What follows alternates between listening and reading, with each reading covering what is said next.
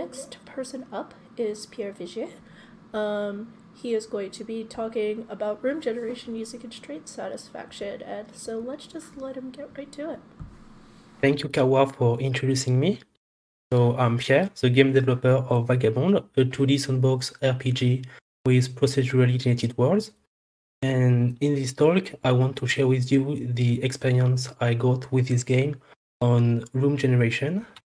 But before we dive into the details of room generation, I just want to mention that there is demo code that accompanies this talk on my GitHub account. It's in C++, but it's very simple. It's less than 1000 lines of code. And it's published under the MIT license. So you can use it freely in your project and do whatever you want with it. So first, let's define what's a room generator. So you have a, structure, it can be anything, a dungeon, a building, but it's desperately empty. And so you want to fill it with uh, objects, pieces of furniture, monster or decorations. And so it works very well for buildings, but it also works for caves or for dungeons and even for outdoor structures like uh, these ruins on the left or the marketplace of this village. And my room generator is based on constraint satisfaction problem that I will abbreviate as CSP. The CSP is composed of three things. First, variables. In room generation, we'll have one variable for each object we want to place in a room. Then domains. There is one domain for each variable, and a domain is a finite set of possible value for a variable. So in room generation, the domain for an object will be all the possible positions for this object.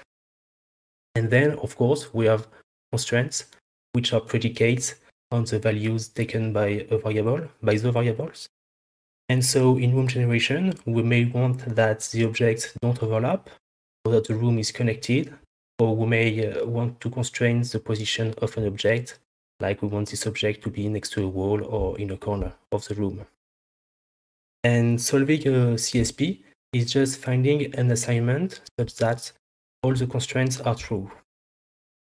And we can already notice two things. First, first is very intuitive. Like if we want a shower to be in a corner, we just have to add a constraint to do so. And we have very strong guarantees on the output, which is a very nice thing in procedural generation.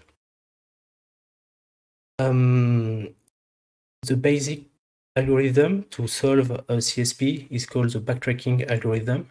It's just a refined brute force approach. We will enumerate all the possible uh, assignments for the variable um, by recursively assigning the variables one after the other. The only subtlety is that each time we assign a variable, we will check the constraints. If the constraints are satisfied, we move to the next variable using a, a recursive call. But if the constraints are not satisfied, or if the recursive call fails, we move to the next value in the domain and if there is no value left in the domain, we backtrack to the previous variable. So it's a very simple algorithm. It's less than 10 lines of code, but it works very well. If there is a solution to the problem, it will find it. And the only issue is that as we always try the values in the same order, the algorithm is deterministic and will always return the same solution. Not ideal, for a procedural generator. But the fix is very simple. You just have to shuffle the domains before running the algorithm. So if you are using an external library to solve your CSP, just make sure that the selection process for values in the domains is random. And we can also notice that the order in which we process the variables doesn't matter. It doesn't need to be random. And in fact, if you process first the variables with the smaller domains, uh, it can speed up significantly the solver as they are more constrained than the other. And it's called the minimum remaining value heuristic. Uh, so now let's see how to model the room. So the room is represented as a 2D or a 3D grid. A 3D grid can be useful even for a 2D game. For example, in my game, I use a 3D grid with three layers to be able to place objects above others. And the cells in this grid can be in three different states. First, they can be empty. These are the black tiles on the pictures. If a cell is free and can receive an object, it can be in the margin state. These are the gray tiles on the pictures. If a cell is free and we want it to remain free for gameplay purposes, like we want the connection to the other rooms to remain free so that they are reachable. And finally, there is the, the full state. So these are the white tiles on the pictures when a cell is occupied by an object or a wall. We may also want to add more data to a cell, like marking it as a wall or door, which may be very useful for certain constraints. Now the objects. I find it more useful if a variable can represent not only one object, but a group of objects, like a table with two chairs. We could do that by using several variables and constraints to make sure the objects are next to each other. But it would make the CSP much more complicated and difficult to solve for no good reason. And then I specify two boxes, the collision box, which will be the physical space occupied by the objects, and the margin box, which will be the free space that must remain free around the objects. Like we want to have a space in front of the forge to make sure the players can access it. And I also added the support of optional Boolean masks for the two boxes to be able to add uh, final details to the box like uh, I did of with this uh, counter. Um, I described my room in uh, JSON files, and here you can see the description of a variable. So first, you can observe that for a given variable, I will sample among a list of paintings, uh, a list of objects. Like here, I want to place a painting in the room, but I will choose among a list of, list of them. So it helps to add a variability in the room. And then let's observe that, that the more we add variables in our problem, the harder it will be to solve.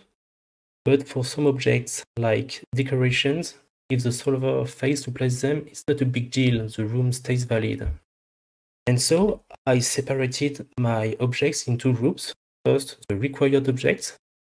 If the solver fails to place them, the room loses its meaning. So for them, I use the backtracking algorithm that I presented to be sure that they are placed in the room. And for other objects, the optional objects, I will place them after the required objects, and I will just try each value in the domain once. And if the solver fails to place them, I don't backtrack, I just move to the next optional object. So what's nice with optional objects is that as they are not required, we can make them more random with, uh, for example, a probability of appearance or a random count. And it really helps to add variability. Now let's look at some constraints. So first, the unary constraints, which are the simplest because they deal with only one variable. So the strategy for them is just to remove the values that don't satisfy the constraint from the domain before running the solver. So for example, if we want to place an object next to the north wall, we just keep the position of the, of the first row in the domain. And if we want to place it in the corner, we will just keep the four position uh, of the corners. The two next constraints are so important and must be implemented efficiently efficiently that I bake them directly in my solver. So for the no overlap constraint, I reuse the grid we got as input and I update it after each assignment or, back, or backtracking. After an assignment, I add the object in the grid and after backtracking, I remove it from the grid. And then the connectivity constraint. So it specifies that all free cells must be must be reachable so a simple depth first search algorithm can check that. but we have to run it after each assignment, which can be very expensive. But there is a little heuristic that can help. Uh, if you look at the three tiles around the object and they are connected in one piece, then you are sure that the room is still connected and so you don't have to run the DFS. But if they are in two or more pieces, you may have disconnected the room and this time you have to run the DFS to check. But this heuristic can really help to save the DFS calls and can speed up the solver by one order of, of magnitude. So far, so good, but we have an issue, and it has a name. It's a 10,000 bowls of oatmeal problem. If you don't know what is it, it says that we can very easily generate a lot of balls of oatmeal by just changing the position of the rotation of it of a oat in the balls but uh, all the different balls will just look the same. And we have exactly the same issue here. The, the bowl is the room and the oatmeal is the object. And as you can see, if we use exactly the same input, we will have very similar outputs. But there is a very simple solution to this problem. It's just to generate different balls, different shapes, shapes of balls, different colors of balls, and that way all the balls are different. Hey, I'm kidding, but there is an idea in this joke is that if we change the context, the pattern will be less recognizable. And so we can play on the shape of the structure, on the textures of the floors, of the floors, of the walls, or the skins of objects to mitigate this issue. But if we really want to solve the, this problem, we have to change the, the inputs. So first, don't overuse room templates, especially for two rooms that are close to each other. Then use a lot of alternatives and optional objects add variabilities in your rooms. And finally, if you can, use a higher level generator to generate um, more different inputs or inputs that convey a meaning. For example, let's say that you have to generate a house for a character and you have already generated the hobbies for this character. Let's say he's fond of astronomy. And so you will want to place an object in, the house that will convey this information, like a telescope. And a nice and very simple way to achieve this is to use tags and triggers. So your other generators will generate a context that's just a bag of tags and in your in your room description, you will add you will add triggers to some object, and this object will be added only if the trigger tag is in the context. So here we will add the telescope only if the tag ob underscore astronomy is in the context. And what's nice with this approach is that all the generators stay very loosely coupled. And you can even make uh, more complex triggers if you want using propositional logic. Uh, so yeah, that's all. So um, I encourage you to use uh, CSPs in your generators. Is it's easy to reason about and quite easy to implement. And just be careful of the 10,000 bowls of oatmeal issue. And here are some links if you want to go further in the topic uh, we dealt with today. Thank you. Thank you, Pierre. Uh, that was great. I actually, uh, I, I spent a lot of time in grad school doing things with gradient descent and uh, simplex, simplex algorithms. So I, it felt like a wonderful bringing back in time uh, and using those techniques forward for uh, things like room generation is, is really, really clever. Love that.